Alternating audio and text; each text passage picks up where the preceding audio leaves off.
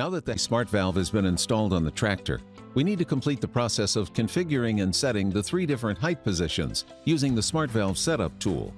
To begin, connect one end of the Smart Valve Setup tool cable to the harness and plug the other end into the USB port of the computer. Make sure the Smart Valve Setup tool software is installed on the laptop you're using to complete this process.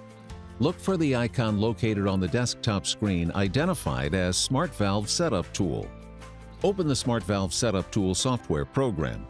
If a message appears that says unsuccessful communication, first verify that your cable is plugged into the computer and connected to the harness.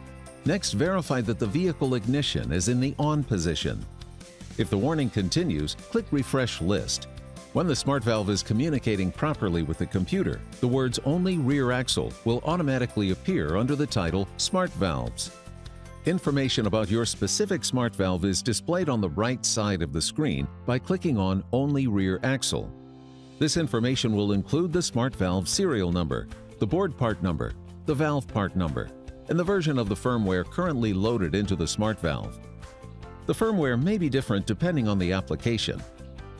In this video, the smart valve is installed on a 6x2 driveline tractor. Verify with the instruction manual that firmware loaded into the smart valve matches what is required for your tractor. Now, with the only rear axle highlighted, let's click Configure Smart Valve to open the main setup screen. This first screen is our calibration setup. We will start with lever rotation when raising. This is used to tell the smart valve which way is up and which way is down using clockwise or counterclockwise rotation. The easiest way to confirm rotation is to look at the current lever angle. When the vehicle is dumped, this number will always be a negative number if the clock rotation is set correctly. The mounting and orientation of the smart valve on the tractor will determine which rotation is required. The Height Presets in Degrees window is where we'll make our adjustments to the ride height, raised height, and lowered height positions. Note that 1 degree in change is equal to approximately 1 tenth inch of suspension travel. The vehicle control is an option for the technician to be able to raise and lower the suspension using this program. In the display of the upper right-hand corner, we can check feedback from the tractor. The engine running and speed status indicates that the connection to the J1939 CAN bus signal is properly installed. The raise switch dump switch will light up green whenever the buttons are activated. The fault code block will light up orange whenever there is an active fault. The valve voltage displays the voltage that is received at the smart valve. The auto return to ride height indicates whether the auto return feature is enabled or disabled. This control is for returning the suspension from the dump position to standard ride height only. The smart valve will always return to ride height from the over height position and cannot be disabled. The valve operation section of the screen provides a simple diagram of what the valve is currently doing including the current position of the lever, the current mode of the suspension, and which direction the smart valve is moving the suspension. The Other Settings tab is where you can enable or disable the auto return to ride height from the dump position by simply checking the box. The recalibrate the center of the lever angle is not used during the setup process. Please contact support before using this feature.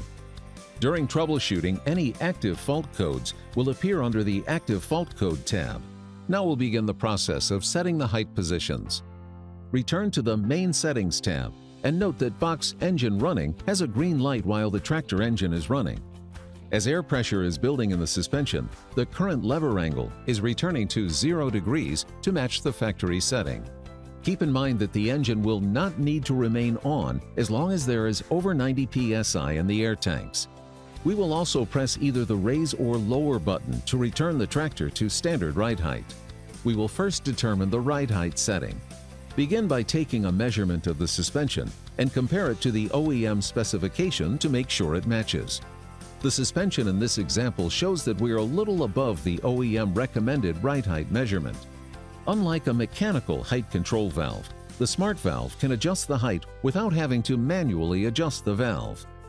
The standard ride height allows for a span of plus or minus 10 degrees in setting the ride height position without having to manually adjust the valve. Because this example is above the OEM specification, we'll start lowering the suspension in increments of 2 degrees. If an adjustment of more than 2 degrees is entered here, the program provides a warning. After entering your adjustment, there is a slight delay built into the smart valve to avoid excessive air usage when the tractor is in operation. Following the delay, the suspension will proceed with the adjustment. Repeat these steps until you have reached the desired ride height. Now that the ride height has been set, we'll set the over height position for the suspension.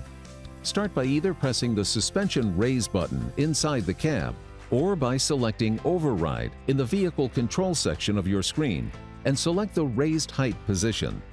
We need to set a maximum travel of suspension in the raised height section by slowly increasing the degrees in the raised height box by 2 to 4 degrees at a time until we reach the maximum travel of the suspension. The maximum suspension travel is limited by the shock absorbers.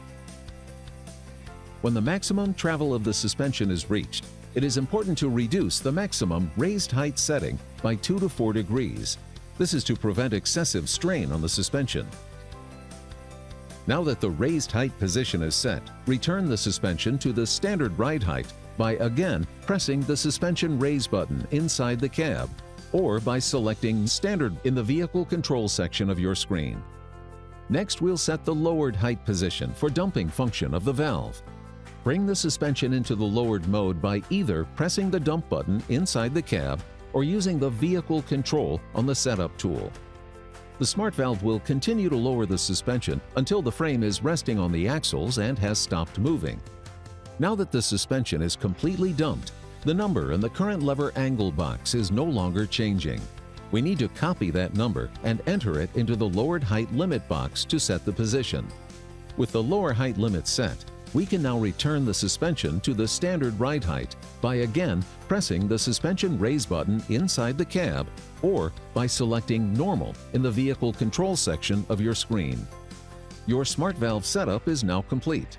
Close the software program, then carefully disconnect the communication cables and store for future diagnostic use.